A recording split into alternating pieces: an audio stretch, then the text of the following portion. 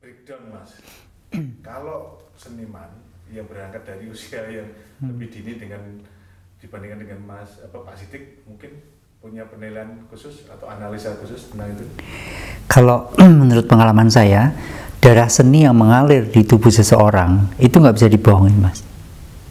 Ya, jadi itu kan bakat, talenta. Kapan pun itu muncul, itu pasti akan terlihat. Hanya pengalaman seseorang ataupun situasi kehidupan seseorang kan berbeda-beda. Jadi mungkin munculnya kemudian bisa di apa di publish itu waktunya berbeda-beda. Saya rasa itu. Tapi segala sesuatu kalau memang itu dilakukan dengan hati dan itu bukan KW-KW itu tadi karena saya memang gak suka KW-KW itu memang hasilnya beda mas ya kan kualitas di sini kan terlihat juga kemudian respon dari apa dari orang banyak dan sebagainya. Dan sebagainya. Itu kan juga merupakan bukti tentang karya itu. Penilaian itu kan juga sangat luas kan? Kalau kita bicara masalah penilaian saya mas ya. Sangat relatif mas. Kalau hanya dinilai lokalan aja oke lah. Tapi kalau udah penilaiannya itu sudah tingkatnya menjadi nasional bahkan internasional itu yang kemudian patut diperhitungkan. Gitu, ya. ya. Kalau menurut saya bakat mas kalau sudah namanya punya bakat itu ya terpendam berapa lama pun pada saatnya dia muncul ya sudah langsung ready ready for use asal gitu ya. Seperti misalnya kayak gini. Anak-anak belajar menari. Kalau sudah bakatnya udah luas dulu tuh mas? Oh bocah ini bakat. Dengar musik aja udah badannya udah begini. Irama sudah ada dalam dirinya sendiri. Hanya tinggal diarahkan dibentukkan begitu. Nah itu proses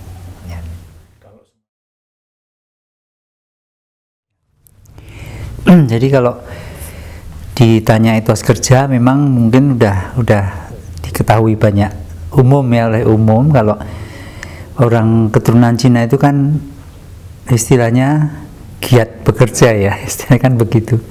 Karena memang itu didikan dari keluarga mas. Saya rasa Om Sidik pun mengalami hal yang sama. Jadi seperti contohnya kalau yang saya alami dari kecil itu memang sudah ditanamkan oleh orang tua bahwa kalau kamu mau mendapatkan uang ya kamu harus bekerja. Tidak bisa hanya berpangku tangan istilahnya duduk ungkang-ungkang terus uang datang sendiri. Jadi istilahnya etos kerja keras itu sudah terbentuk memang bentukan dari keluarga sejak kecil. Istilahnya kulino ngopeni barang sing cilik-cilik gitu loh mas. Jadi telaten aja kan mas. Me- me- apa, mengumpulkan sedikit-sedikit sehingga lama-lama menjadi banyak. Seperti ini yang saya lakukan di rumah koleksi kan juga begitu kan? Awalnya kan saya juga nggak ngira toh. Hanya seneng ngumpulkan aja sedikit-sedikit lama-lama menjadi ribuan begini kan kemudian jadi kaget sendiri terkaget-kaget. Kok nggak terasa kok? Nah akhirnya bisa dibuat semacam apa koleksi atau rumah koleksi semacam ini.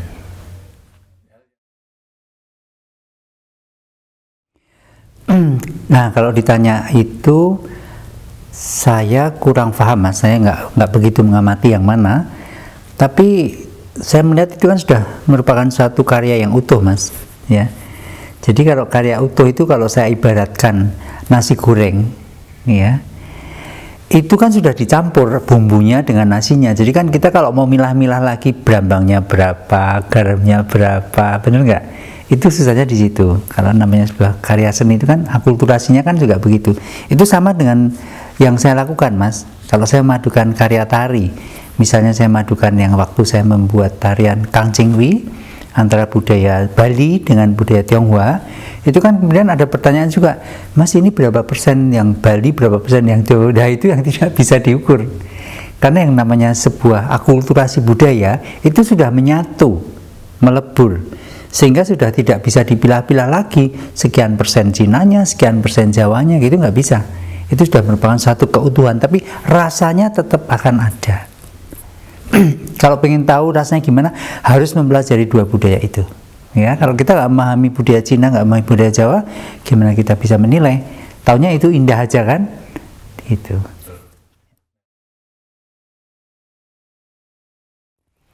menurut saya menarik kan ini akulturasi lagi kan mas?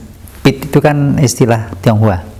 Pit itu kan kuas yang untuk melukis itu pendekar pit juga ada kalau dalam pit dalam arti kuasnya ya kalau dalam persilatan kan ada jadi dia memang keahliannya memainkan pit itu untuk berperang Anda juga.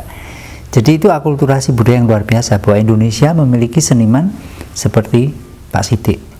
Nah, itu kan sesuatu itu kekayaan budaya, Mas, yang ada di Indonesia. Kalau kita bicara masalah akulturasi budaya, Indonesia itu atau Nusantara ini sebenarnya masyarakatnya sangat welcome terhadap pengaruh budaya dari mana pun.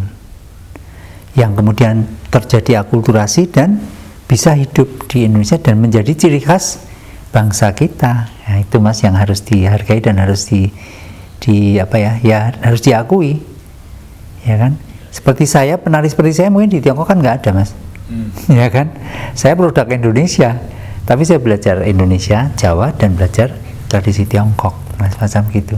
Itu kekayaan budaya itu. Jadi makanya sebenarnya kalau sering digembar-gemborkan masalah akulturasi, masalah perbedaan, masalah kebinekaan. Nah sekarang kalau kita bicara bineka tunggal ika, nggak semua tahu kok kalau misalnya istilah bineka tunggal ika itu dari dari dalam cerita Sutasoma. Nah ya, jangan nggak ngerti toh. kalau di Bali cerita Sutasoma lebih populer, sering dipentaskan. Dan di situ memang dimunculkan sekali adalah. Nah saya pernah membawakan tarian itu kolaborasi dengan Jepang dan Bali saya yang dari Jawa. Gitu.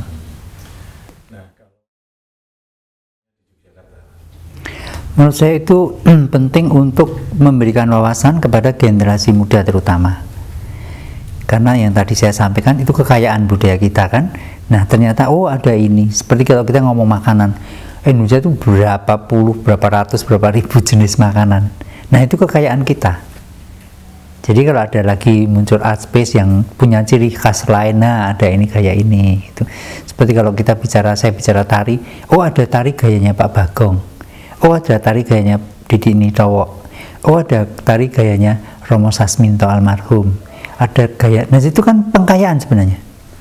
Nggak perlu itu harus dibentur-benturkan, harus dicari mana yang baik, mana yang jelek. Ya, kita kan biasanya kan begitu budayanya. mesti bukannya menghargai merespon tapi sudah dikata wah ini itu diukur dengan dirinya sendiri. Wah iki apik ya. ya kan? Karena saya ngalami dalam dunia tari. Saya rasa sama pun di dunia lain juga begitu. Nah ini yang harus dihilangkan sikap semacam ini. Makanya kita perlu memberikan edukasi kepada generasi muda supaya Indonesia ini menjadi negara yang kuat kesatuannya kuat jadi jangan setiap kali digambar-gemborkan persatuan-persatuan bineka tunggal ika selalu digembar-gemborkan keberagaman dan sebagainya. Masa sampai sekarang masih selalu diingatkan. Terus berarti kan belum ingat-ingat ya? Masih pingsan. Ya toh. Turun